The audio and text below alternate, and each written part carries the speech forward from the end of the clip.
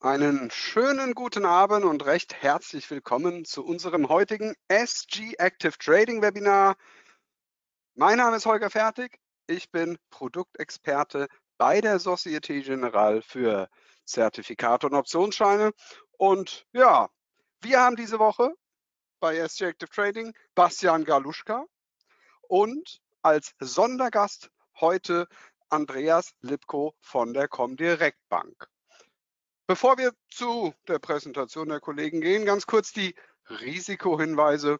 Ähm, das Webinar richtet sich an kundige Selbstentscheider mit Erfahrung im Bereich Hebelprodukte und äh, die in diesem Webinare besprochenen Produkthinweise zu Hebelprodukten erfolgen lediglich zu Demonstrationszwecken und sind nicht als Empfehlung zu verstehen. Es ist also keine Anlageberatung und dass Hebelprodukte ein hohes Risiko beinhalten beziehungsweise ja, darunter das Totalverlustrisiko ähm, beim Erreichen des Knockouts oder bei der wertlosen Fälligkeit von Optionsscheinen, beziehungsweise gibt es auch das Ausfallrisiko des Emittenten. Noch in einer Sache, die Zertifikate Awards stehen ja, vor der Türe. Sollten Sie mit den Services und den Produkten der Societe Generale zufrieden sein, würden wir uns natürlich freuen, wenn Sie für uns stimmen würde. Es geht hier um das Zertifikat aus des Jahres. Nehmen Sie teil. Das, äh, ja, Sie können eine Reise nach Berlin gewinnen und äh, insoweit jetzt noch schnell abstimmen. So, jetzt aber zu den Kollegen. Guten Abend, Bastian und äh, ja, schönen guten Abend, Andreas. Hallo. Hallo, Hallo und guten Abend. Äh, freue mich wieder dabei sein zu dürfen und äh, ja, an diesem sehr aufregenden Tag, muss man sagen, am Wahltag und äh, wo ja noch keine Entscheidung feststeht bislang. Das ja, ich freue mich auch dabei sein zu dürfen. Genau, vielen Dank. Ich werde jetzt mal den Bildschirm übertragen. Wir haben heute wieder einige Charts vorbereitet und haben, das, haben uns das so überlegt, dass der Andreas ähm, jeden Themenblock ein bisschen fundamental erläutern wird und ich natürlich meine Charts zeigen werde. Und wir wollen starten mit dem DAX, der ja heute wirklich sich sehr volatil verhalten hat, erst sehr schwach gestartet ist, dann ein eindrucksvolles Reversal. Und äh, ja, Andreas, wie hast du das heute äh, erlebt und äh, ja, was ist vielleicht auch deine Erklärung dafür, dass es jetzt so gelaufen ist? Ja, genau, Bastian, im Endeffekt ja auch eine schöne Frage. Wir haben ja gestern so ein bisschen schon die sogenannte Erleichterungsrallye gesehen, weil man eben dachte, okay, ist alles in Sack und Tüten. Die US-Wahl dürfte größtenteils äh, gelaufen sein. Biden wird als Gewinner hervorgehen. Heute Morgen dann die ersten Nachrichten, dass es demnach nicht so der Fall ist. Dann gab es die erste Verunsicherung. Du hast bereits gesagt, wir sind ja doch sehr, sehr schwach eigentlich reingekommen lange zeitweise hier wirklich mächtig im Minus und konnten dann ja wiederum äh, uns Plus drehen. Und das hatte wirklich größtenteils auch damit zu tun, weil sich hier die politischen, also erstmal natürlich sehr viel Unsicherheit drin war, natürlich in den Märkten Unsicherheiten lieben Investoren eigentlich überhaupt nicht und demzufolge steht man hier doch eher an der Seitenlinie beziehungsweise macht erstmal dann gar nichts. Dann gab es aber so ein bisschen Klarheit dahingehend, weil man dann gemerkt hat, wie die Machtverteilung wirklich eigentlich in den USA sein könnte. Und damit hat sich so ein bisschen auch die aktuelle Situation, wer zukünftig Präsident ist, entschärft, um es mal so zu formulieren. Das heißt jetzt äh, natürlich sind äh, die Lager von Trump und Biden nach wie vor natürlich daran interessiert, ihren jeweiligen Kandidaten durchzudrücken. Aber die Investoren haben so ein bisschen Erleichterung, wenn man eben, weil man eben sagte vorher, würde Biden ja eher negativ natürlich für die amerikanische Wirtschaft sein, weil man hier immer wieder auch das Thema Corporate Taxes äh, hochgeholt äh, hat. Man hat das Thema Digital Steuern potenziell für Technologiewerte als Showstopper so reingebracht. Und jetzt scheinen sich diese Themen so ein bisschen zu abzuschwächen, eben weil eben die Republikaner zumindest im Senat, der ja eine wichtige Institution, Institution dahingehend ist, gerade für die Gesetzgebung, äh, hier nochmal als so eine, weiterhin als Hemmschuh sozusagen dienen könnte, wenn eben ein, der demokratische Kandidat Biden in, in, Amt und Würden kommt und sozusagen hier die Gesetze dann eben durchbringen äh, möchte. Und da hat man eben zumindest erstmal gemerkt, dass zum Beispiel ja auch die Technologiewerte gut reagiert haben und der DAX dann natürlich auch eine Erleichterung hatte, weil hier für den deutschen Markt, zumindest von der Fundamentalseite, eine ganz interessante Situation entstanden ist. Für die deutschen Standardwerte insgesamt wäre es nämlich günstiger, wenn sozusagen der demokratische ähm, Kandidat an die Macht kommen würde als neuer Präsident. Das kannst du ja auch gleich nochmal dann bestimmt sicherlich charttechnisch auch nochmal bestätigen, weil nämlich dann sozusagen diese Entschärfung von möglichen Handelskonflikten, Handelskonfliktstreitigkeiten zukünftig hier nicht mehr so stark in den Fokus rücken. Man hatte jetzt ein bisschen Angst gehabt, wenn Trump sozusagen in die zweite Runde kommen würde, dass dann diese Thematik Handelskonflikt China-USA sich nicht nur über die Drittplatzposition Europa bisher auswirkt, sondern dass danach natürlich auch nochmal der Ton in Richtung der EU schärfer werden würde. Und das ist aber demzufolge heute mit dem steigenden, äh, ja, mit der steigenden Wahrscheinlichkeit, dass Biden in Amt und Würden kommt, so ein bisschen entschärft worden. Und jetzt ist halt auch mal ganz interessant, wie deine charttechnische Sicht daraus äh, zu interpretieren ist, ob das wirklich so mit der fundamentalen Seite her deckungsgleich wäre.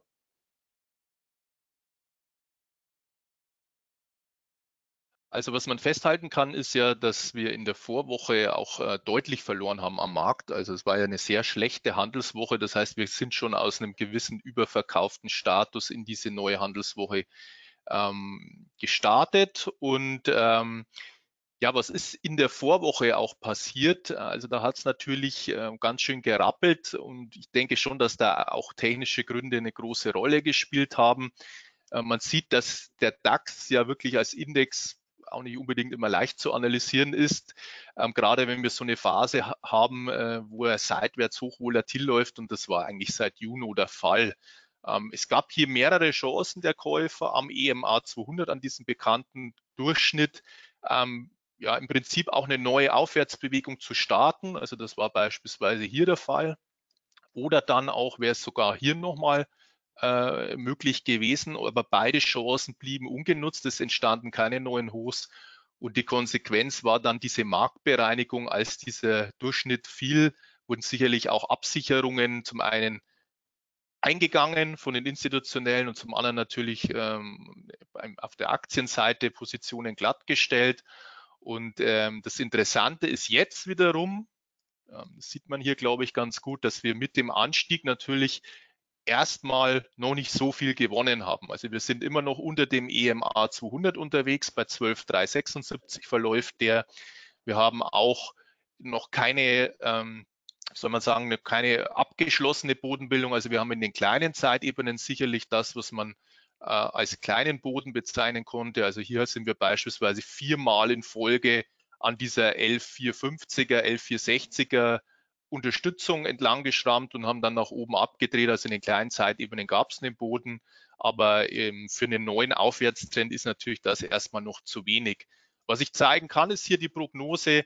Ich mache ja einmal in der Woche immer am Montag den DAX-Wochenausblick bei uns und ähm, da war es eigentlich das, was ich ableiten konnte, war schon im Vorfeld der Wahl erreicht. Im Übrigen auch in dem ein oder anderen US-Index. Also das waren hier die Gaps, die in der Vorwoche äh, gerissen wurden. Ähm, das war im DAX beispielsweise die Marke von 12.035, die hatten wir gestern schon erreicht, wo ich dann auch geschrieben habe an unsere Kunden, naja, also würde ich jetzt nach so einem Run vor so einem wichtigen Event nach dem Gap Close noch Long-Position eingehen oder Long-Position halten? Wahrscheinlich nicht. Da würde ich erstmal ein bisschen Risiko runterfahren. Und das hat man ja heute erstmal gesehen, war auch die richtige Entscheidung. Also ich denke, heute Morgen hat sich keiner beschwert, wenn er bei 12.035 rausgegangen ist. Es hat nur Intraday gedreht. Was kann man also festhalten? Naja, also diese Abwärtsbewegung ist schon noch intakt, aber wir haben jetzt enorm hohes Momentum, hämmern also an diese Widerstände hier oben wieder dran und ähm, auch mit Blick auf die US-Indizes sind die Chancen natürlich schon da, dass wir vielleicht dieses Verkaufssignal wieder aufheben. Also 12,341 war hier das letzte Tief, was unterschritten worden ist, etwas darüber der EMA 200.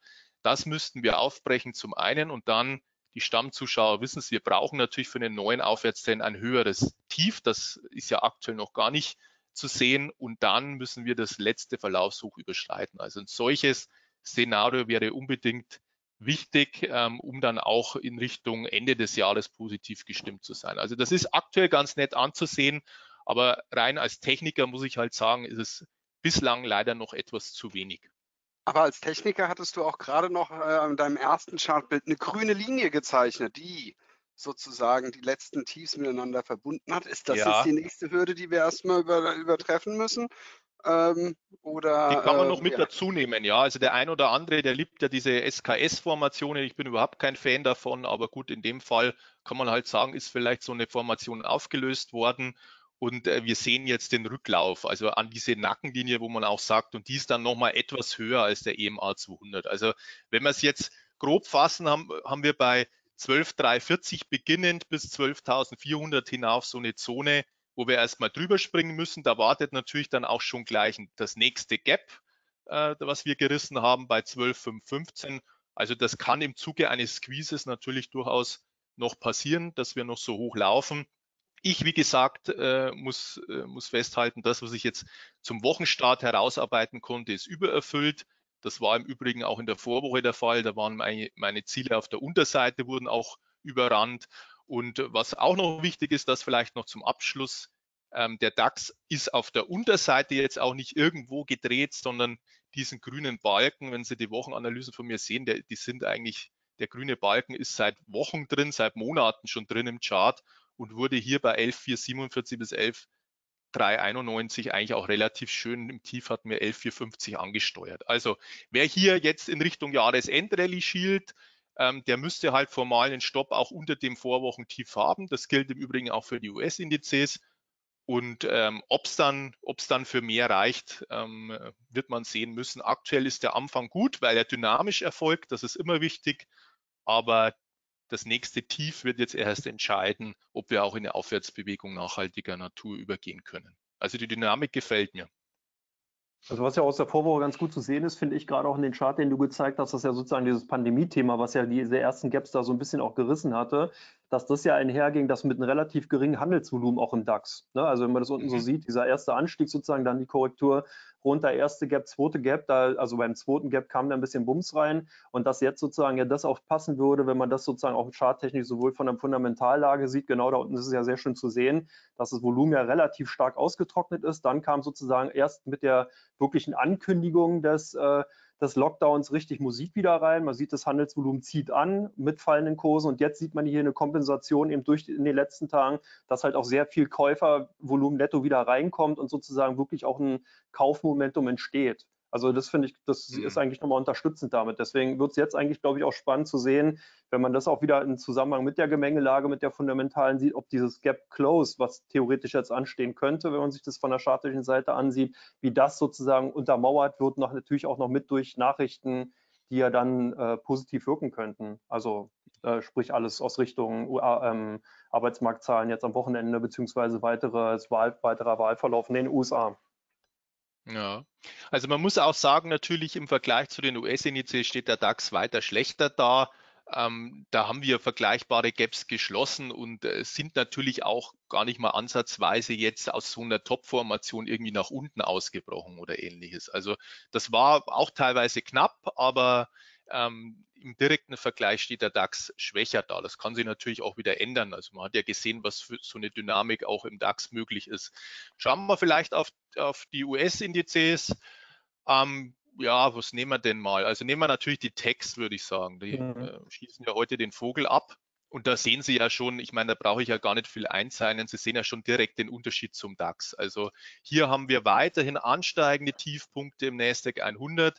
Der Index hat als hat äh, das September-Tief noch nie mal im Ansatz erreicht. Und ja, ich hatte da schon ein bisschen drauf spekuliert, weil es, äh, ich glaube, wir hatten es ja auch äh, in einem der, Webinare oder wir haben es immer wieder, dass diese dreiteiligen Bewegungen eigentlich immer so klassische Korrekturbewegungen sind. Im Dow Jones lief es optimal. Also da sind wir wieder beim Thema, was wünsche ich mir als, als äh, Analyst? Wie sollte so eine Korrektur aussehen? Schauen wir uns das mal an da lief es eigentlich, das war jetzt heute die Prognose von mir, also ist, ich mache auch immer so eine Tagesprognose, da haben wir eigentlich auch alles abgefrühstückt, was jetzt hier irgendwie ableitbar war, also 28, 1,50 hier oben sogar noch abgeholt. Wenn wir in den Tageschart reingehen, dann äh, sehen wir hier das, was ich meine, diese dreiteilige Bewegung, also Abwärtsbewegung, Korrektur, Abwärtsbewegung, kann, kann man in den Trendkanal fassen und zweimal haben wir es auf Intraday-Basis zwar unterschritten, diese untere Begrenzung, aber wir haben uns immer wieder darüber gerettet. Und äh, im Dow Jones bin ich jetzt eher der Meinung, dass wir hier ähm, optimistischer sein äh, dürfte für die, für die nächsten Wochen vielleicht sogar, ähm, weil ich völlig zufrieden bin mit dieser Bewegung vom Hoch. Ähm, also das ist dreiteilig, das verläuft in einem Trendkanal, kann man auch als Flagge sehen. Ähm, die nächsten Signale hätten wir natürlich in diesem Index jetzt, wenn wir aus dieser, aus dieser Flagge ausbrechen sollten, dann äh, ist im vierten Quartal noch einiges möglich. Ähm, der Unterschied, jetzt nochmal der Nasdaq, da ähm, bin ich jetzt mittlerweile ein bisschen umgesprungen. Also da hätte ich auch gern noch ein weiteres Tief gesehen unter dem September-Tief, aber muss sagen, auch ein User in unserem Premium-Service Pro Max hat mich da drauf gebracht. Der hat einfach mal so eine Trendlinie eingezeichnet hier. Ähm, kann man jetzt diskutieren, ob die so sinnvoll ist, auch mit diesem Auflagepunkt hier, aber man muss sagen, es, es wurde halt einfach in den letzten Tagen beachtet. Also wir haben nicht mal ansatzweise das September-Tief erreicht. Und dann muss ich mir als Analyst natürlich auch die Frage stellen, was könnte das werden? Und am plausibelsten ist jetzt für mich so eine Dreieckstruktur. Ähm, das heißt, wenn Sie sich auch ein bisschen mit Elliott-Wellen auskennen, also im Prinzip alles dreiteilige Strukturen in so einem Dreieck. Ähm, da fällt eigentlich nichts fünfteilig, vielleicht noch am ehesten hier könnte man einen Impuls abwärts rein sein, aber ähm, für mich eher alles dreiteilig und das heißt, wenn das ein Dreieck ist, dann sollte es früher oder später auch trendbestätigend aufgelöst werden. Könnte uns allerdings, das ist jetzt die Einschränkung, natürlich auch noch über mehrere Wochen beschäftigen. Wie Sie sehen, muss da die Entscheidung, wenn es hart auf hart kommt, gar nicht mehr in diesem Jahr kommen. Und äh, ja, also das ist vielleicht auch ein Szenario, was plausibel sein könnte. Achten Sie hier mal so auf den Bereich 12.000 in den nächsten Tagen, wo die Abwärtstrendlinie ankommt ob wir da rausgehen. Und ähm, ja, für viele überraschend, dass heute die Techs auch so stark reagieren. Also man hat ja gesagt, Biden, wenn es wird, was jetzt noch nicht feststeht, ähm, der könnte dann eigentlich auch da ein bisschen äh, Druck ausüben auf die Tech-Titel. Andreas, wie, wie, wie, wie, siehst du das? Also was könnte da jetzt die Erklärung sein? Auch die Geschichte mit dem Senat, dass er hier nicht voll Vollgas geben könnte? Na gut, im Endeffekt war es natürlich so, dass die Tech-Werte ja schon seit geraumer Zeit eigentlich hier den Ton angegeben haben. Die haben ja sowohl maßgeblich die US-Indizes ganz klar bestimmt, also S&P 500 war ja zu 20 bis 25 Prozent eigentlich nur noch durch die fünf bis sechs großen Technologieunternehmen bestimmt worden. Das Handelsgeschehen mit Old Economy-Werte waren sozusagen quasi Beiwerk, schmückendes Beiwerk, wenn man es so sieht. Das hat man auch sehr schön äh, im Vergleich, wenn du hier den Nasdaq zum Dow Jones nochmal betrachtest, gesehen, dass das letzte Tief natürlich ganz klar dadurch geprägt war, dass man eben Angst hatte, wenn es zum Lockdown kommt, wird eben die Old Economy ganz klar schwerer getroffen als die New Economy. Deswegen ist eben das Tief eben bei denen, die eben äh, diesen hohen Anteil an Old Economy Werten haben, bei den Indizes ganz klar. Und die Technologie hat sich ja quasi losgelöst. Also auch durch die Stay-at-Home-Aktivitäten konnten natürlich Anbieter, die eben in diesem Bereich der Technologie, Digitalisierung, dezentrales Arbeiten und so unterwegs sind, haben natürlich davon eben auch stärker profitiert. Das sieht man halt deswegen auch, da kommt der DAX sozusagen auch nicht richtig aus der Hüfte, weil wir da zu wenig Technologie eigentlich drin haben und hier einen sehr starken Fokus noch eben Old Economy. Ähm, dass die Technologiewerte heute so stark performt haben, hat natürlich auf der einen Seite schon mit, mit damit zu tun, dass man hier immer wieder auch die Steuerproblematik hat, wo, wobei ich das Thema mal ein bisschen weglenken wollen würde zu, äh, zum Punkt äh, oder vom Punkt weg Digitalsteuern, weil äh, hier wird immer wieder gerne angeführt, dass die Demokraten da sozusagen als Spielverderber fungierten. Aber wenn man sich das mal insgesamt genauer ansieht, ist eigentlich noch gar nicht klar gewesen, was für einen Rahmen das hätte haben können, also in welcher Größenordnung man hier denkt. Das ist noch gar keine, äh, also ist halt nicht richtig äh, sozusagen vorgelegt worden. Es war halt eine Idee, dass man, die man angehen kann. Und es muss eigentlich auch jedem klar sein, dass man die Digitalsteuer nicht als Land alleine sozusagen lostreten kann, sondern hier muss man natürlich ganz klar international, global agieren. Und das sieht man ja, funktioniert in Europa schon nicht so richtig, dann eben geschweige denn auf der ganzen Welt. Also von daher denke ich, wird die, was, was jetzt hier ganz klar auch gespielt wird, ist natürlich auf der einen Seite die Erleichterung schon, dass man eben sieht, okay, wir haben jetzt eine Situation, mit der kommen wir klar. Das heißt, Eben, man hat, egal wer jetzt kommt, eben diese Pad-Situation. Das ist eben gut für die Wall Street. Und deswegen ist man jetzt eigentlich nicht mehr auf das Thema Steuern stark gegangen, sondern eher auf das Thema, ich nenne es jetzt mal salopp, Business as usual. Das heißt, Investoren sagen, hey, ich kann mit der Situation politisch klarkommen, egal was jetzt erstmal passiert. Also rein von der Konstellation nicht mit den Vorgängen, die bis dahin eben äh, äh, möglich sind. Da hat man natürlich eine Unsicherheit im Markt, aber man geht jetzt wieder auf die Big Techs rauf. Man geht jetzt in den Sektor rein, der in der letzten Zeit sozusagen, ich sage jetzt mal, funktioniert hat. Das heißt, der Go with the Flow ist ganz klar eben angesagt. Man geht eben in diese großen Tech-Werte rein. Das wird auch zukünftig so sein. Deswegen passt es auch zu der Analyse, die du jetzt sozusagen technisch da prognostiziert hast. Als Investor ist man halt gut aufgehoben, wenn man eben sagt, man investiert in diese großen Tech-Werte, weil das sind Big, äh, Big Caps, das sind eben Trendthemen wenn man selbst, wenn die mal korrigieren sollten, was ja auch hier jetzt in deiner Prognose charttechnisch durchaus noch drin ist, dann kann man eben aber auch den Investoren, die eben zum Beispiel in die Vermögensverwaltung, in Fonds in, dann eben investiert haben, die man ausgesucht hat, ganz klar sagen, ja Moment, das sind aber die Trendthemen und das würde halt äh, verziehen werden. Man fängt hier nicht groß an zu experimentieren, dass man eben versucht, hier ein Market Timing zu nehmen, indem man dann irgendwelche Old Economy auf Automotive-Bereich oder Fluggesellschaften oder sowas eben fokussiert und da eventuell nochmal böse erwischt wird, sondern man kann sagen, man hat die Themen, die eben wirklich funktionieren und damit ist man eben gut aufgehoben. Deswegen ist es ganz spannend und ich glaube auch, das deckt sich halt. Also man sieht auch schon immer dieses alte Thema, was funktioniert, Charttechnik oder fundamentale Betrachtung, das ist eigentlich hinfällig. Man, es geht beides, mal läuft die Technik vor, Markttechnik vor, mal läuft eben die Fundamentalseite vor und man sieht aber, dass sich das eigentlich schon sehr stark äh, äh deckt und deswegen finde ich das auch ganz spannend, dass wir das jetzt hier mal so auch betrachten. Was ich sehr mhm. interessant finde, ist auch vor allem dieses Gap, mit dem die Nasdaq heute sozusagen mhm. eröffnet hat. Ja, und äh, ähm, äh, gefühlt, gefühlt sind wir ja eigentlich nicht viel schlauer als, als gestern. Außer, dass es kein Kontersieg von, von äh, Biden war, sondern dass das Ding äh, super knapp wird mit allen möglichen Sachen, die noch kommen können. Und es mhm. wird trotzdem gefeiert. Also ähm, finde ich, finde ich ganz spannend. Ähm, vor allem hat man ja mit, ja, von allen Seiten mit hohen Volatilitäten gerechnet, ähm, aber eher nach unten als nach, nach oben, wie wir es heute in der Nasdaq sehen. Aber in dem Zusammenhang haben wir auch eine Frage aus dem Publikum. Wer hat denn heute äh, die Aktien in der Nasdaq hauptsächlich getrieben? Waren es die, die berühmten acht, die es immer sind, oder ähm, ist, das die, ist das querbeet gewesen? Habt ihr das im Blick gehabt? Ja, es gab einen Wert, der äh, Biogen zum Beispiel ist ein extremes Beispiel heute. Die haben 43, 46, also 43 bis 46 Prozent im Plus heute. Die hatten eine Zulassung für ein Alzheimer-Präparat bekommen. Und äh, das zeigt eben schon natürlich, dass nicht nur die richtig klassischen alten Werte hier mit vorne sind, sondern dass eben auch so eine Sondersituation natürlich, wie zum Beispiel Biogen heute einfach äh, so ein bisschen den Vogel abgeschossen haben. Äh, ansonsten sind schon einige von den üblichen Verdächtigen gerade auch zu Beginn mit dabei gewesen. Äh, interessant war, ich glaube, Autodesk, die waren eine Zeit lang auch relativ stark äh, im Plus. Ich muss mal gucken, ob die immer noch äh, gut gesucht sind. Also von den Schwergewichten natürlich eine Facebook mit 8%, da können Sie sich vorstellen, die hat eine gehörige Gewichtung im Index, die macht dann schon mal was aus. Und äh, ja, Biogen war natürlich für den Biotech-Sektor sehr wichtig muss ich da ein bisschen korrigieren, Andreas. Sie haben jetzt noch nicht die Zulassung bekommen.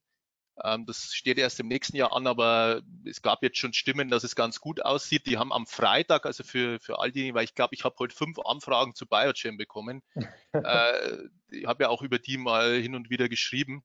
Also da sieht so aus, die, die, die, der Zulassungsentscheid ist weiterhin im März für dieses wichtige Alzheimer-Medikament, aber es gibt ein vorgeschaltetes Panel, das findet am Freitag statt. Also es kann am Freitag durchaus bei Biogen noch zu Verwerfungen kommen, dass sie das schon mal einplanen. Und jetzt im Vorfeld dieses Events, das hat mich jetzt auch überrascht, äh, gab es wohl schon Stimmen, die sich ganz positiv geäußert haben. Es werden auch immer Paper veröffentlicht, in der Regel aber, glaube ich, erst am Vortag. Also so hundertprozentig konnte ich es auch noch nicht äh, identifizieren, wo jetzt die 40 Prozent herkommen. Also es wird halt im Prinzip, ich meine, die Aktie, schauen wir es uns mal an, die ist ja natürlich auch extrem abgestraft worden. Meine letzte Prognose war hier nochmal in Richtung neuer Tiefs. Also das ist also ein, sie ist eigentlich auf ein neues Jahrestief noch gefallen vor einigen Tagen und jetzt natürlich so ein Strich nach oben. Ähm, ja, und ähm, also ich drücke natürlich wirklich vehement die Daumen, zum einen als Biotech-Fan, zum anderen natürlich weiß ich, was im Alzheimer Bereich alles schon für Fehlschläge gab und was das für eine böse Krankheit ist, ist natürlich zu wünschen, dass das gelingt mit dem Durchbruch. Sie sehen aber im Big Picture, dass da natürlich trotz 40 Prozent Anstieg nur überhaupt nichts passiert ist, muss ich leider so sagen, denn die Aktie kommt ja seit Jahren nicht vom Fleck. Also da müssten wir hier mal über 389 äh, Dollar gehen. Ja, aber das war natürlich ein Achtungszeichen und hat den Nasdaq Biotech Index vielleicht äh, weiß nicht, passt es? Sollen wir das gleich vorziehen, mal das, das Thema? Ja, klar. Ja, auf jeden ähm, Fall. Ähm, hat natürlich den mit oben, mit nach oben gezogen. Und äh, Biotex hatten wir ja äh, ein, zwei Mal schon im Webinar. Die werden auch immer wieder reinkommen, weil ich ja den Sektor wirklich, äh, wirklich als sehr interessant im, äh, empfinde und den schon lange verfolge. Also da könnte man schon recht positive Prognose erstellen. Wenn jetzt natürlich die Biogen am Freitag sich halbiert, dann wird es schwierig mit einem Ausbruch, aber rein charttechnisch ist es hier eigentlich auch ganz gut gelaufen. Wir haben auch in so einer Art dreiteiligen Struktur korrigiert, haben hier anders als beispielsweise der DAX den EMA 200 zweimal halten können und ein kleines Gap ist jetzt heute geschlossen, beziehungsweise fast geschlossen. Hier würde ich mir mal vormerken als Trader die Marke von 4.546 Punkten. Das ist das bisherige Oktoberhoch.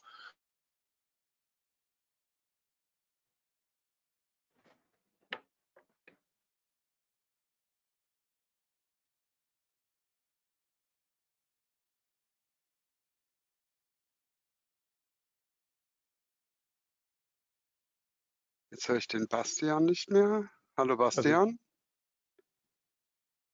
ich höre ihn auch nicht mehr.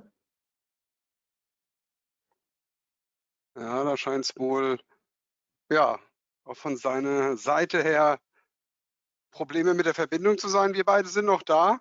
Wir sind ähm, da. Ich kriege einfach mal kurz rein. Er kommt ja bestimmt gleich wieder rein oder kann sich ja reingehen, oder? Bin mir sicher. Ja, grätsch okay. du mal rein. Ansonsten habe ich genau. auch ein paar paar äh, Fragen noch, aber mach du mal gerade. Genau.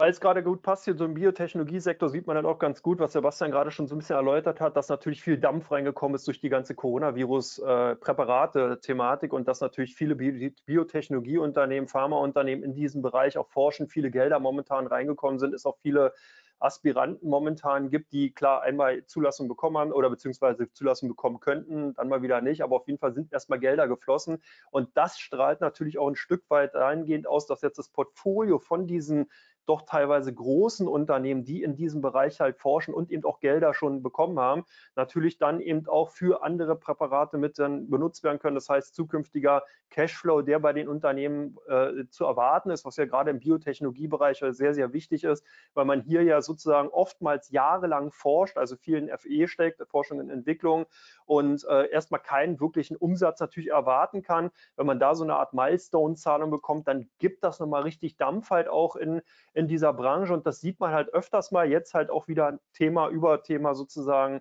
Coronavirus-Präparat insgesamt, dann natürlich ausstrahlend auch auf das ganze Produktportfolio. Deswegen ist halt sowieso auch immer gut, eher auf größere Unternehmen in den Sektor zu gehen und nicht so unbedingt auf kleinere äh, Pharmaunternehmen. Und das sieht man, wie gesagt, im Biotechnologieindex ganz gut, dass hier durchaus auch potenziell für den Sektor zukünftig von der fundamentalen Seite mehr zu erwarten ist, weil dann eben, wie gesagt, die Gelder aus dieser einen Forschungsrichtung natürlich auch auf andere äh, zu, äh, vielversprechende Sektoren übertragen werden können, sodass dahingehend dann eben auch äh, mehr Zulassungsanträge bzw. neue Forschung losgestoßen werden können. Ich glaube, der Bastian ist wieder da der ist wieder da. Äh, bevor wir ihn aber wieder reden lassen, lasse ich doch ganz kurz noch eine Frage hier. Also, ähm, hat es gesagt, auch andere Firmen, also Pfizer und Moderna ist natürlich auch äh, das gerade das äh, Thema Corona immer noch eine interessante Geschichte. Ja, also ähm, auch da äh, sind, sind, ja, äh, kann noch was passieren. Äh, war das jetzt eine Frage oder eine Aussage von ja, dir? Nee, das war eine Aussage. Also auch das war, also das ist, kommt direkt, kommt direkt, kommt direkt, dass halt auch andere Firmen äh, hier auch noch profitieren, gerade Pfizer und Moderna. Ja. Hm. Aber jetzt der Bastian ist wieder da. Bin wieder da. Was habt ihr denn überhaupt noch gehört von mir? Gar nichts mehr. Gar nichts mehr. Gerade ah, an dem Tag, wo es spannend wurde, da warst du weg. Äh, Habe ich dann gar nichts sagen können zum Biotech-Sektor? Doch, du hast äh, sozusagen ähm, kurz vor, glaube ich, bevor jetzt dieser Ausbruch da ähm, bevorstehen könnte, da, ja. ist, da war nichts mehr zu hören. Also zu Biogen hatte ich auch einiges gesagt. Äh, ja, schade, wenn man das jetzt nicht gehört hat. Also nur ganz kurz, also ähm, hier steht ein wichtiges Panel-Meeting an am Freitag und da kann es nochmal zu Verwerfungen kommen. Also der, die Zulassung ist noch nicht durch. Und äh, ja, der Nasdaq Biotech Index, also als Trigger könnte hier die 4, 5, 46 gelten.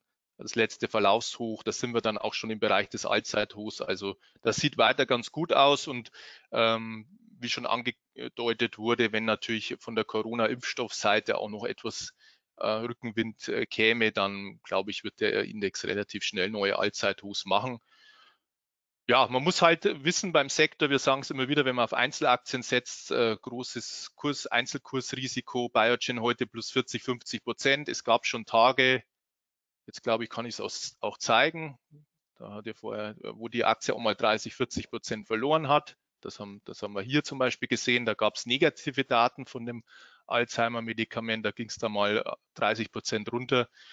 Und äh, das kann man dann am besten streuen, das Risiko mit einem ETF oder, an, oder einem Aktienbasket. Also hier auf Einzelwerte zu gehen, ähm, das kann äh, auch sehr nach hinten losgehen. Aber freut mich natürlich, dass die Biotechs so gut laufen. Was mich jetzt ein bisschen wundert und wahrscheinlich auch viele Zuschauer, da hatten wir heute auch Fragen, ja, was ist denn jetzt heute los? Man hat gesagt, äh, regenerative Energien wären eigentlich die Profiteure von beiden. Dann hat man gesagt, äh, Cannabis-Aktien äh, wären so ein so heiße Place, das will er ja eventuell legalisieren. Und genau diese Sektoren werden heute verkauft, äh, Andreas. Hast du da eine Erklärung dafür?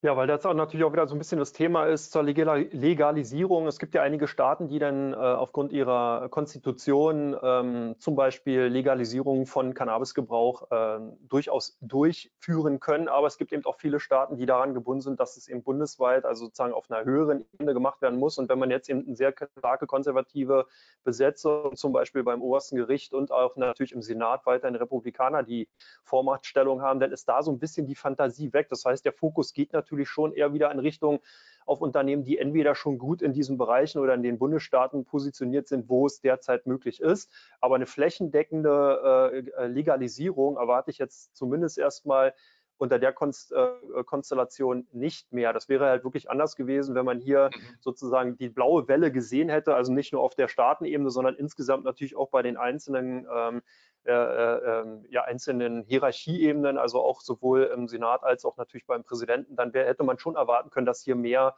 passiert. Aber jetzt wird es halt wieder ein ganz normales Gerange. Es wird ein Politikum. Man wird versuchen, sich natürlich dann äh, der Gegenseite einige Sachen abzuringen, wenn man das eben äh, durchbringen möchte, beziehungsweise wird es äh, unter äh, der republikanischen Rigide im Senat quasi erstmal nicht erfolgen.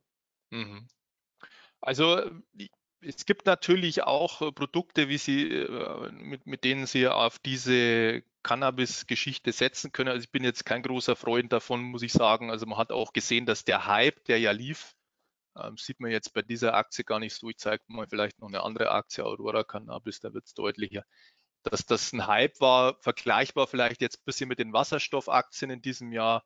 Also ähm, ja, hier sieht man jetzt nur den Kursabschwung, aber es, Sie müssen sich jetzt dazu denken, dass es davor auch den Hype gab, wo diese Aktien sich vervielfacht haben und seit 2018, 2019 dann war es vorbei und wir kommen hier von Kursen über 119, sind jetzt in den einstelligen Bereich gefallen. Die Aktie hat auch schon Reverse Splitter, also war schon im Penny Stock Bereich und da wird es sicherlich auch einige Pleiten geben.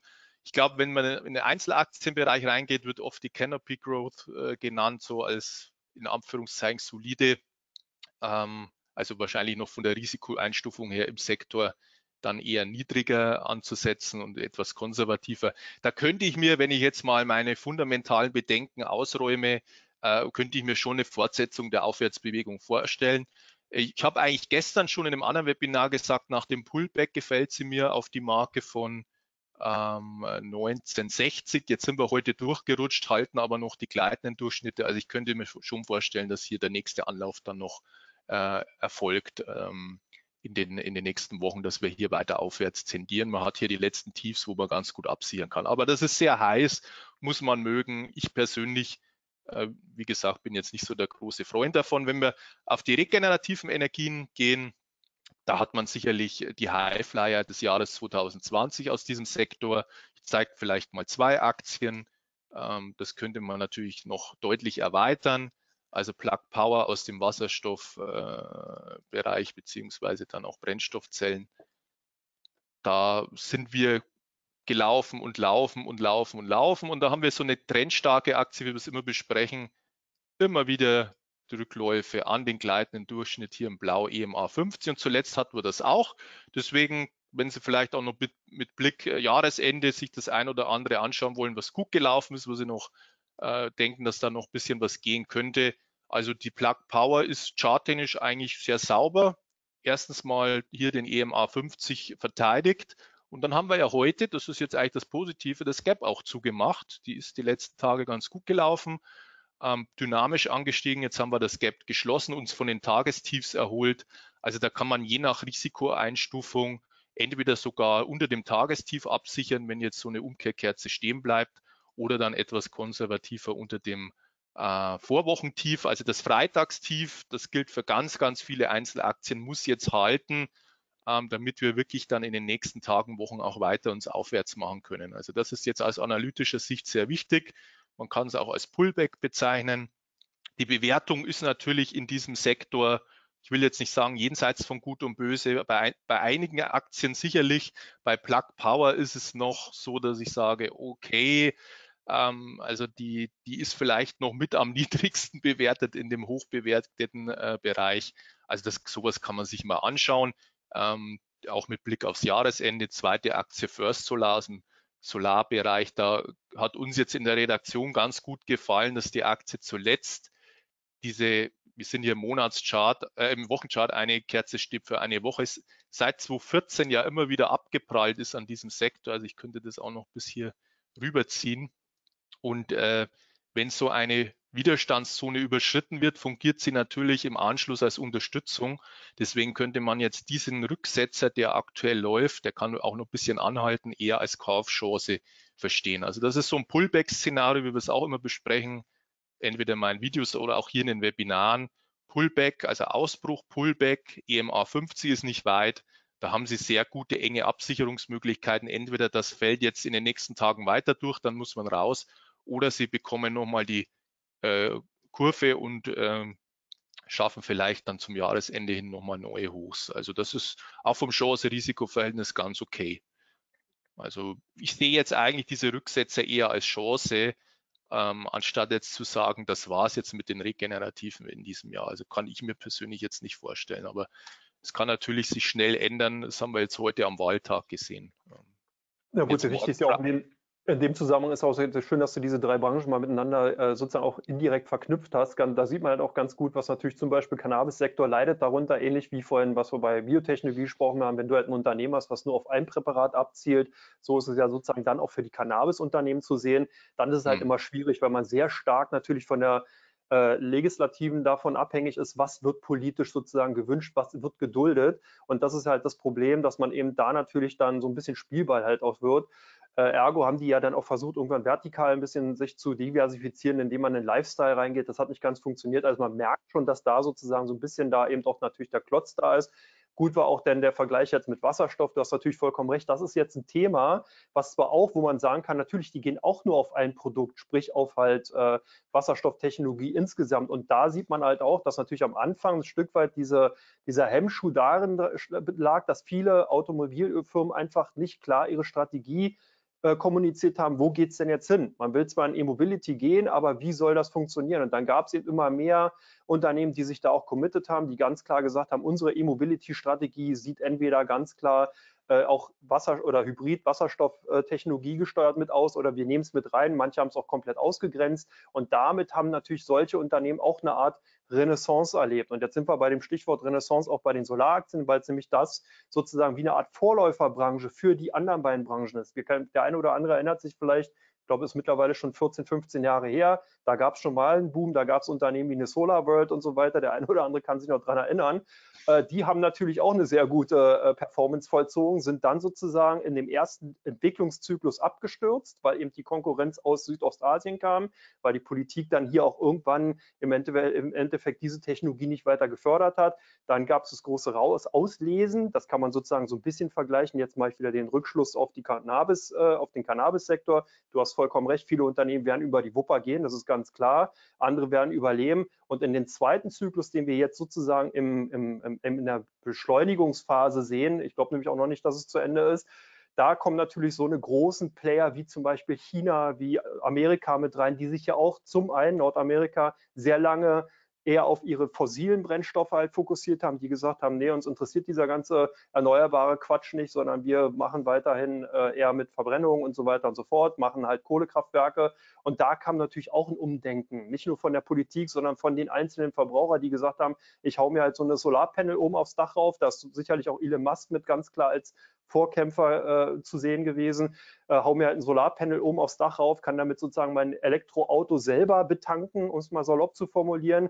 Und das ist halt so ein bisschen auch so einen new, neuen Weg in, in Amerika geebnet und China natürlich in sich hat ja eine ganz andere Politik. Die wollen und haben auch ganz klar kommuniziert, dass man zukünftig wirklich massive Teile der Energiegewinnung, des Energiehungers, den ja China ganz klar hat, eben aufgrund der Expansion, die man eben anstrebt, will man zum sehr, sehr großen Teil eben durch regenerative, durch erneuerbare Energie abdecken. Und deswegen, äh, wenn du auch mal einen Chart von Jinko Solar reinsiehst, dann kann man sozusagen fast sehen, ja.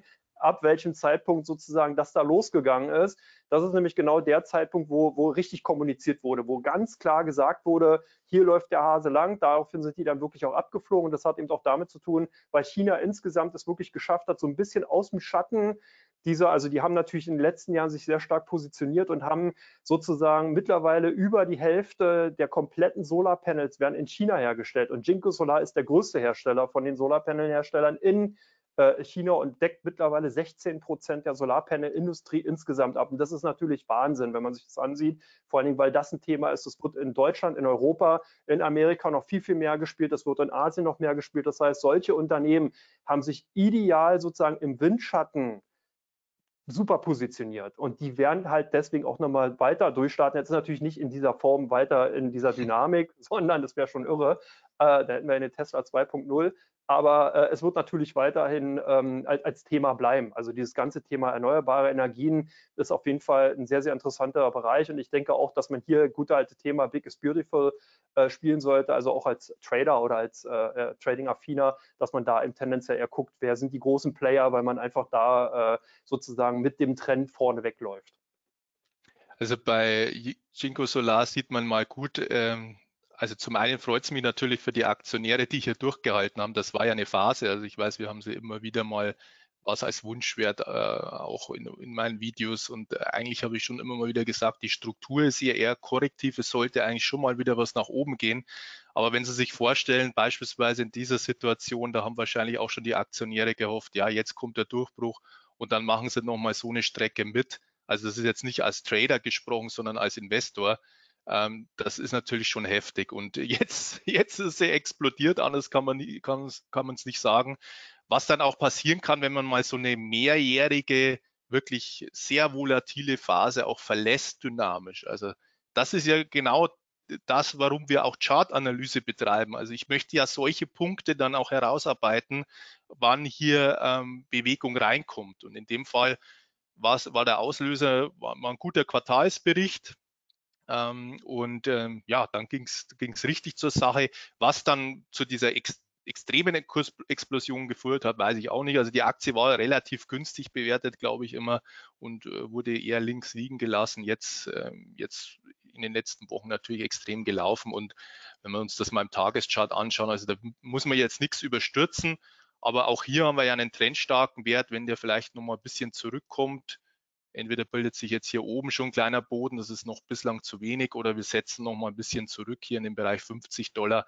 Da kann man sich das vielleicht auch als Trader mal wieder anschauen. Da hat es sich vom Hoch äh, nicht ganz halbiert, aber hat zumindest mal diese überkaufte Situation abgewahrt. Also schauen Sie sich das an, das ist eine Kerze, ein Tag.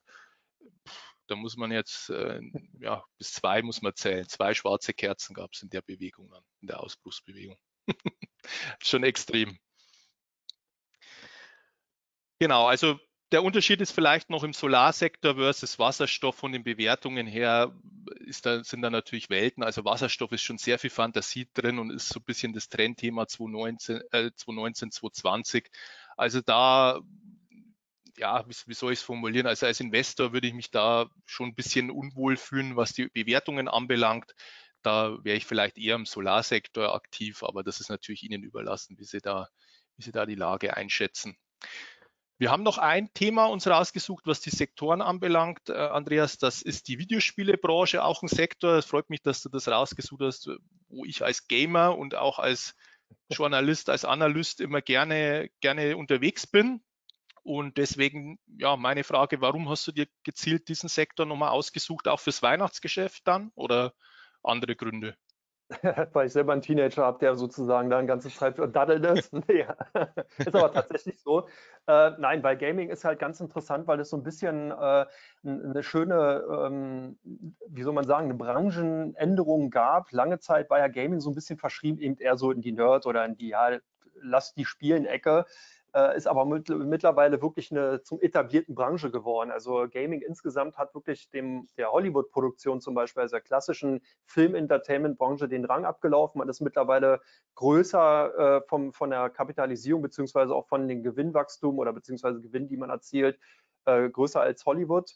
Und das ist schon ganz spannend, weil also hier wirklich jetzt ein, ein, ein, Paradigmenwechsel stattgefunden hat. Früher hat man ja sozusagen gesagt, ja, Hollywood gibt sozusagen die Themen vor, macht und daraus werden dann Spiele konzipiert. Jetzt ist es andersrum. Es gibt mittlerweile wirklich Videospiele, die werden verfilmt. Und mhm. das zeigt eben auch so ein Stück weit eben, wie dieser Wandel stattgefunden hat. Also, dass nicht unbedingt nur der Hund mit dem Schwanz wedelt, sondern teilweise auch der Schwanz mit dem Hund und irgendwann den Hund gar nicht mehr braucht. Witziges Bild irgendwie, aber ist halt so.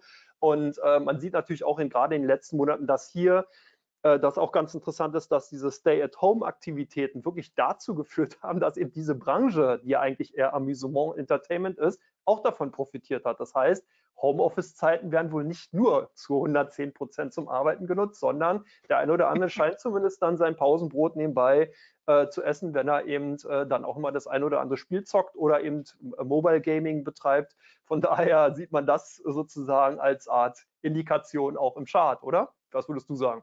Ja, ganz klar. Also äh, ist natürlich, gehört ja auch äh, zu diesem Digitalisierungstrend. Ähm, ähm, wenn man sich die letzten Zahlen von Activision anschaut, ich habe es jetzt nicht mehr eins zu eins im Kopf, aber ich glaube, die haben jetzt mittlerweile auch schon 80, 90 Prozent der Erlöse sind digital, also haben ihren eigenen Launcher, wo man dann die Spiele kaufen kann. Und äh, ja, wie, wie die anderen Digitalbranchen auch, äh, ist das natürlich explodiert seit dem März tief. Ähm, es ist jetzt seit äh, September auch schon eine gute Korrektur abgefahren worden. Was Sie hier sehen, sind jetzt zwei ETFs, äh, die ich mal rausgesucht habe. Ähm, Selective Video Games and eSport. Ähm, also mit solchen Produkten können Sie so einen Trend am einfachsten spielen und dann noch FunEgg Vectors Video Gaming and eSports. Können Sie mal die Suche bemühen äh, bei der Comdirect, sollten Sie eigentlich schnell finden. Und äh, ja, da sieht man, dass wir aus einer Konsolidierung, aus einer Korrektur kommen, jetzt wieder Dynamik äh, entfalten und das sieht wirklich sehr, sehr gut aus, auch aus charttechnischer Sicht. Also das könnte in Kürze dann vielleicht sogar in den nächsten Tagen einen Knall nach oben geben und diese ETFs machen neue Hochs. Ähm, wenn wir uns vielleicht ein, zwei Aktien mal anschauen, also Electronic Arts habe ich eher bärisch gesehen in den letzten Wochen, was jetzt auch nicht so falsch war. Aber ähm, das ist eben das immer mit den Zielen. Ziele werden erreicht oder eben auch nicht. In dem Fall ist nur das erste Ziel erreicht worden. Und so nach dem Motto, wünscht dir was, hätte ich gern noch hier unten. Ich habe es heute im Premium Service geschrieben, hätte ich hier unten noch gern zugegriffen. Jetzt gab es die Zahlen von Electronic Arts, das gute Marktumfeld heute. Also ich könnte mir vorstellen, dass das jetzt auch das Tief war erstmal. Und äh, wenn Sie das sehen, die Aktie korrigiert seit ähm, August bereits, hat jetzt vom Hoch 20 Prozent verloren. Also das sind natürlich äh, Geschichten, die man dann immer mal spielen kann. Also finde ich spannend, jetzt auch in der jetzigen Situation hier vielleicht auf eine neue Aufwärtsbewegung zu gehen. Wenn Ihnen da Einzelaktien zu riskant sind, dann wie gesagt, äh, schauen Sie auf die ETFs ähm, und ich glaube, man der, der Kursverlauf zeigt es, also diese zwei Produkte, die haben den Trend gut abbilden können und äh, ähm, das, da ist man eigentlich ganz gut aufgestellt. Beispielsweise, wenn dieser FANEC ETF über die 33er Euro Marke rausgehen würde, dann haben wir hier ein prozyklisches Kaufsignal vorliegen. Ja, also mit den Sektoren sind wir durch. Ähm, mhm. wir haben ein paar Themen, die, die hier wär, die, die, auf die die Leute warten. Äh, wir haben Euro, US-Dollar, wir haben die Edelmetalle genau. und, äh, ja, und Bitcoin. Das ist auch ein Basiswert, auch wenn wir keine Produkte drauf haben, den die Leute sehen wollen. Also insoweit, ähm, ob wir danach noch Wunschwerte durchkriegen, ich wage es fast zu bezweifeln, aber deswegen vielleicht. Aber es waren ja sehr viele Basiswerte, genau. Ähm, genau, ja, richtig. Bitcoin, vielleicht da erstmal der Langfristchart, den habe ich nämlich neulich erst auf Guidance gepostet in meinem Stream. Warum ist es da jetzt so interessant? Ähm, man sollte immer auch das Big Picture im Bild behalten, sich nicht immer nur in den kleinen Zeitebenen aufhalten, sonst sehen Sie vielleicht da gar nicht, was jetzt gerade passiert. Also ich mache mal hier nochmal die andere Darstellung. Also ich bin in Bitcoin auch investiert, das muss man ja immer dazu sagen. Also bin hier vorbelastet, wenn Sie wollen. Deswegen kann es sein, dass meine Analyse hier nicht äh, 100% objektiv ist, was eigentlich in der Regel aber trotzdem der Fall sein sollte. Also hier das Hoch 2019 ist angesteuert und wir versuchen es jetzt im laufenden Monat über die 13764 oder je nachdem, was Sie hier für eine Börse einstellen, Bitfinex habe ich hier eingestellt, rauszugehen. Und das ist natürlich jetzt das, was nochmal zu einem größeren Knall führen könnte. So würde ich schon mal formulieren. Ähm, denn ähm, Andreas, korrigiere mich, aber ich glaube, Bitcoin ist der beste Basiswert von den großen Basiswerten 2020. Und da spielt natürlich auch bisschen so diese Window-Dressing-Geschichte mit rein. Also besser als Gold, besser als die Indizes, äh, besser als äh, Währungen und äh, als, als andere klassische Währungen. Und das könnte schon auch nochmal jetzt in den nächsten Wochen reinspielen, dass hier vielleicht dann nochmal der ein oder andere draufspringt. Also ich finde die Situation sehr spannend. Da geht es jetzt darum, genau um das, was wir vorher besprochen haben, im ganz großen Bild, wird es ein neuer Aufwärtstrend. Bislang haben wir hier eine Korrektur. Erster Anstieg, das letzte Tief aus diesem Jahr im Corona-Crash war über dem Tief 2018 ausgebildet und jetzt geht es eben darum, diese Hochs rauszunehmen. Und dann haben wir eine Bewegung. Sie kennen vielleicht den Count von meinem Elliot Wellen-Kollegen André Titje. Der schreibt nur mehr rein to the moon. Also ich werde mich jetzt hüten, das zu machen. Aber wenn hier eine große Welle 3 läuft, so sagen das die Charttechniker, die, die Elliott Waver, also wenn hier nach diesem Anstieg nach einer Korrektur eine große Hauptwelle läuft, dann ist hier noch einiges, einiges möglich. Also das ist eine ganz spannende Situation aus technischer Sicht. Wie siehst das du fundamental aktuell, Andreas?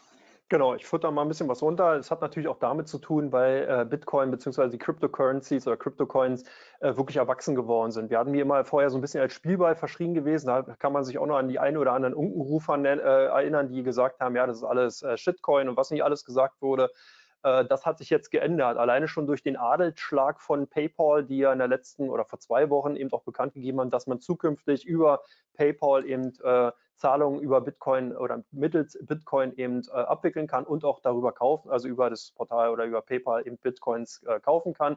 Und das ist natürlich, damit zeigt es eben auch, dass man aus den Kinderschuhen einfach draußen ist. Deswegen deckt sich das auch so ein bisschen oder größtenteils natürlich auch mit dem, was du jetzt charttechnisch da antizipiert hast oder antizipieren könntest. Und ähm, das wird halt auch von der fundamentalen, von der Akzeptanzseite untermauert. Und was wir auch gesehen haben, was interessant ist, dass wir eine sehr, sehr hohe Korrelation in den letzten Wochen auch zu Gold gesehen haben. Das heißt, nicht absolut, sondern wirklich relativ. Das hat also wirklich teilweise so ein bisschen den Aspekt der Vermögenssicherung, Vermögensaufbewahrung in kritischen Zeiten gehabt. Ja, gerade aus Asien gab es viele Anleger, die nicht mehr Gold als klassisches Krisenasset äh, genommen haben, sondern wirklich in Bitcoins reingegangen sind und da dann ihre Gelder geparkt bzw. sicher abgelegt haben. Das ist halt auch nochmal ganz interessant zu sehen. Also man sieht hier schon, es gab wirklich einen Paradigmenwechsel eben weg von den, ich nenne es jetzt mal Zocker-Basiswert, äh, Zocker-Underlying, Bitcoin hin zu die Akzeptanz eben bei auch Investoren.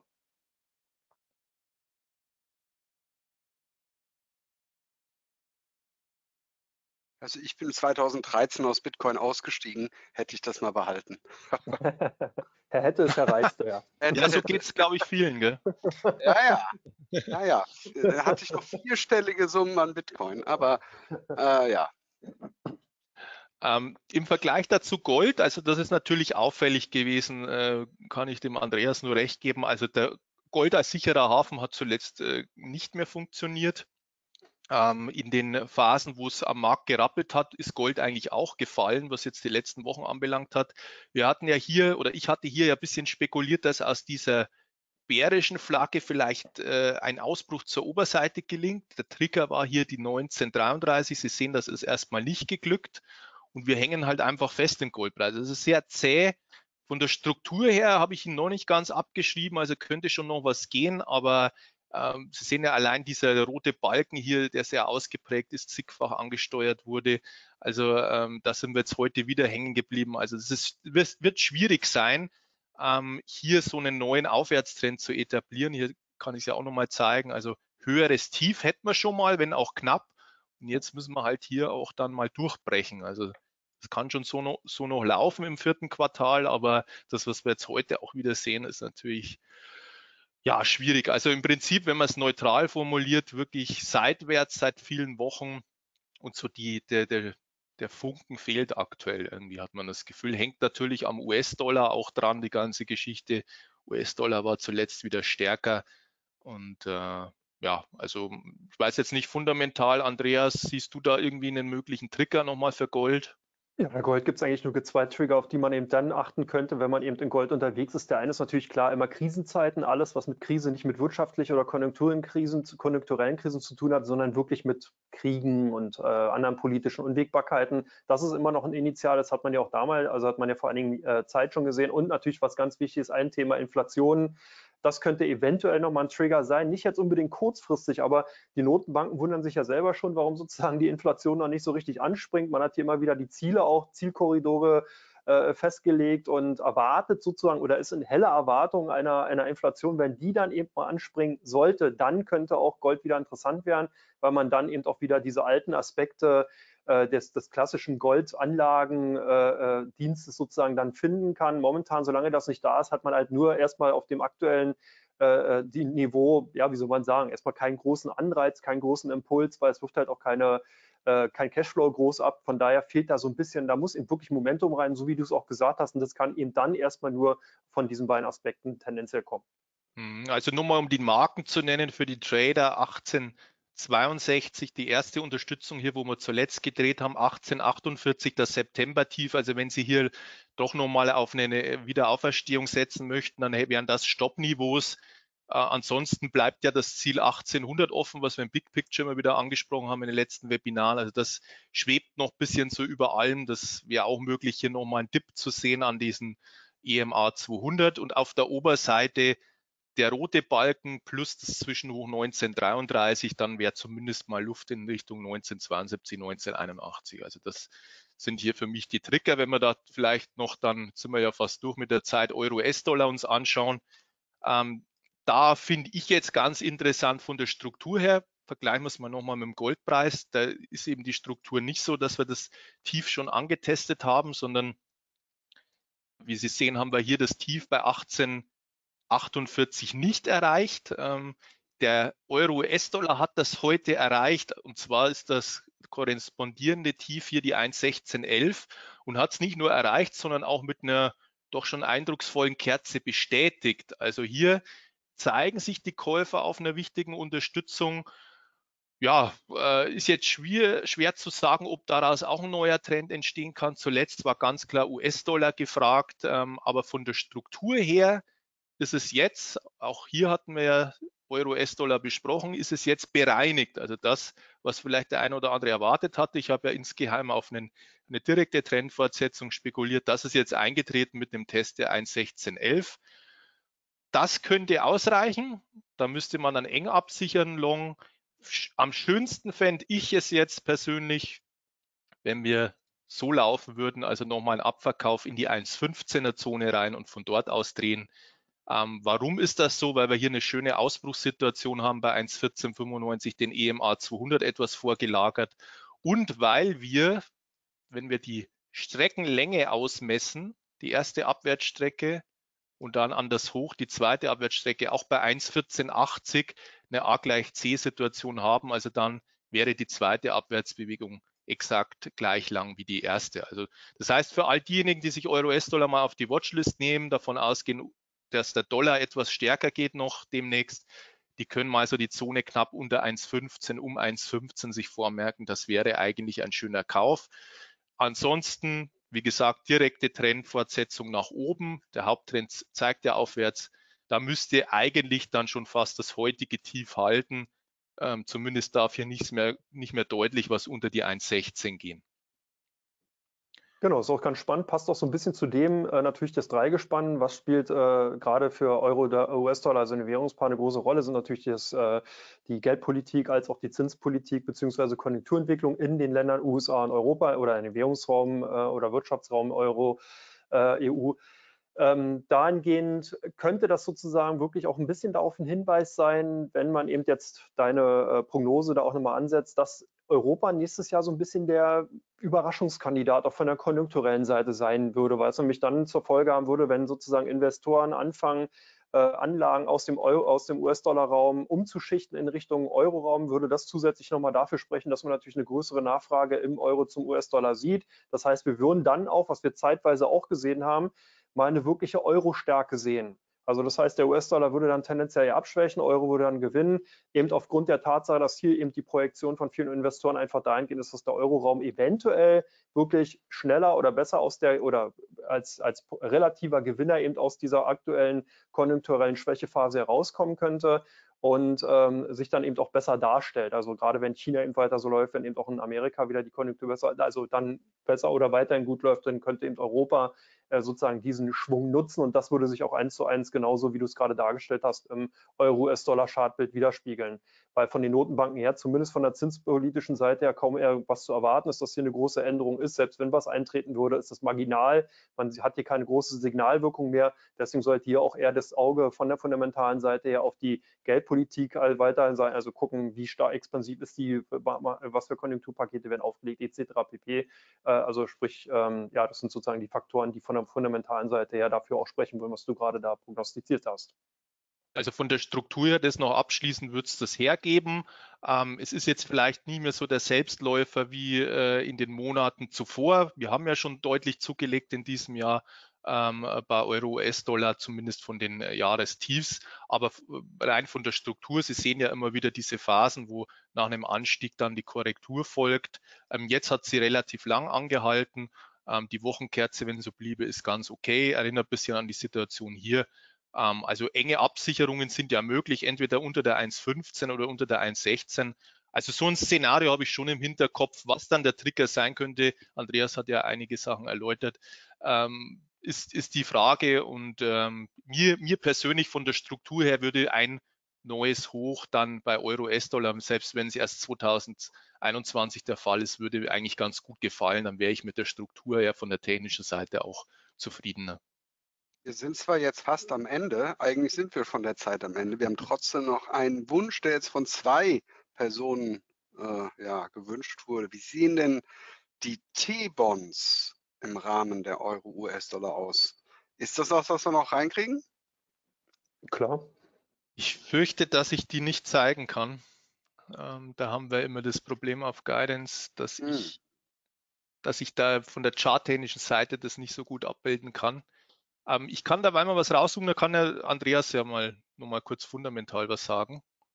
Genau, wir hatten ja das Rendite, äh, Renditeniveau in den USA war ja eben auch eine maßgebliche, ähm, äh, äh, maßgeblicher Parameter eben auch für die Aktienkursentwicklung. Das hat man ja gerade gesehen. Das heißt, wenn eben äh, viele Investoren in Richtung Risk-Off bei Aktien gehen, das heißt also Risiko rausnehmen, werden die dann eben in die Anleihen äh, geparkt, gesteckt. Äh, und dieses, dieses Duett hat man oder Duell hat man sozusagen auch in den letzten Tagen ganz gut gesehen. Ich denke, dass hier natürlich jetzt ganz wichtig ist, wir haben ja unter anderem morgen die US-Fed, die ja äh, dahingehend auch nochmal ein paar Guidance beziehungsweise ein paar Äußerungen tätigen wird, wie eben sich die konjunkturelle Situation darstellen wird. Das Gute ist dahingehend, dass, jetzt wäre natürlich schön, wenn wir noch einen Chart hätten. Achso, ja, ja, zehnjährige, genau. Also es sind jetzt so die Renditen der Zehnjährigen zumindest ja. mal. Ne? Genau. Genau. Und dass man dahingehend natürlich dann sieht, äh, die US-Fed ist da ein bisschen schneller natürlich, die kann wesentlich schneller und agiler reagieren auf konjunkturelle Entwicklungen. Das bedeutet, wenn wir äh, jetzt tendenziell eher wieder eine, eine, eine, Erholung in den USA sehen würden, dann würde auch die US-Fed schneller reagieren. Das heißt, die Renditen würden dann wieder steigen, weil die Kurse natürlich fallen, weil das Zinsniveau steigt insgesamt. Das, da muss man eben wirklich jetzt schauen, da ist also eine Prognose, eine kurzfristige, eher derzeit von der fundamentalen Seite ja schwierig zu tätigen, weil man eben wirklich erstmal sehen muss, was für Fundamentaldaten zum Beispiel Arbeitsmarktseite eben reinkommen und wie die FED darauf reagiert. Aber insgesamt kann man eben attestieren, dass tendenziell eben aufgrund des sehr, sehr niedrigen Zinsniveaus doch tendenziell eher mit einer mh, hm, perspektivischen Zinsanhebung in den USA zu rechnen ist. Das heißt, Rendite könnte äh, dann eben steigen, ergo die Kurse in, äh, in den Anleihen äh, fallen. Hier muss man natürlich auch noch die einzelnen Laufzeiten jeweils sehen, 10, 5 und die Kurzfrist, äh, 10 Jahre, 5 Jahre und die kurzfristigen äh, Zeiträume. Aber jetzt mal wirklich ganz das Big Picture hier aufzuzeichnen, da könnten wir wahrscheinlich alleine schon eine Schaltung machen. Äh, von daher ist es vielleicht jetzt erstmal von der fundamentalen Seite einfach mal so ein kleiner Abriss. Also guckt auf die Notenbanken, äh, also auf die US Fed, guckt eben darauf, wie die Arbeitsmarktdaten sich ähm, äh, äh, entwickeln und im Hinterkopf immer behalten, dass die US-Fed wesentlich schneller am Agieren ist sozusagen und da eben auch dann äh, ähm, sozusagen schneller auch bereit ist, wieder ein Zinsniveau zu schaffen, wo man eben wieder Spielraum hat, zu agieren, weil momentan ist das die, die denkbar ungünstigste Situation für äh, die Notenbank, weil man eben auf einem auf ein Niveau ist, wo man keine Signalwirkung mehr hat. Man kann nur noch viel mit Wording machen, aber nicht mehr sozusagen mit interagieren und deswegen versucht man da relativ schnell auch wieder rauszukommen. Das haben wir im letzten Jahr gesehen, das hat man auch gesehen, als die Coronavirus-Krise war. Da wurde auch sehr, sehr schnell und massiv reagiert und äh, dadurch, dass jetzt auch US-Präsident Trump eventuell, also da muss man eben auch gucken, weil der ja auch sehr, sehr harsch in Richtung US-Fed und äh, Richtung des Vorsitzenden Powell da eben agiert hatte, wenn eben ein anderer, also wenn Biden sozusagen Präsident wird, dann kann man auch wieder erwarten, dass hier sozusagen eher ein autarkes Handeln von der US-Fed, also was sie ja sowieso macht, aber sozusagen nicht unter dem politischen Druck dann eben äh, zu erwarten ist. Ja, also von der charttechnischen Seite kann ich hier keine Entwarnung geben bislang. Das ist ja, ich glaube, das sieht, glaube ich, jeder noch keine abgeschlossene Bodenbildung oder ähnliches. Also da muss man einfach die nächsten Muster abwarten. Vielleicht kommt hier mal so eine Art Doppelboden zustande oder irgendwas ähnliches. Aber ich denke, dass da wird die Entscheidung dann erst im, im kommenden Jahr fallen. Ja. Ähm, was der Haupttrend, äh, was den Haupttrend anbelangt, seit 2018 haben wir ja diesen rapiden Einbruch. Und äh, ja, also das ist jetzt einfach so ein hin und her auf, auf, auf niedrigem Niveau um die Marke von 0,7 in etwa 0,8 äh, ähm, ähm, Prozent. Und äh, ja, ich bin sehr gespannt, ob da, ob da nachhaltig mal was nach oben geht dann im kommenden Jahr.